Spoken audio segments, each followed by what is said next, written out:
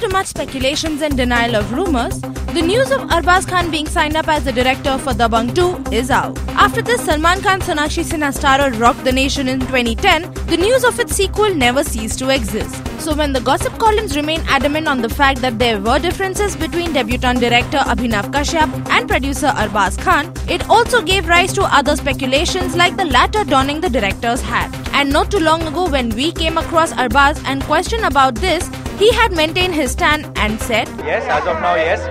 Unless there is some developments other than I know, but as of now, yes, we, the the core team is the same. We'll probably keep this core team there. No wonder this news of Arbaaz finally announcing Abhinav's ouster from the movie hasn't shocked many.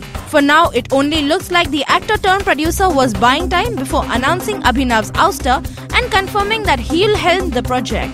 Arbaaz has also stated that he will maintain the core cast in Dabangg 2 the script of which will be ready in another two months or so.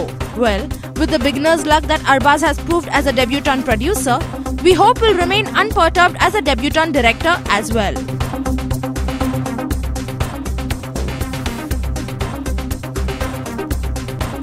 With cameraman Puneet Rawat, this is Dipti Ranglani for Rajshri.com.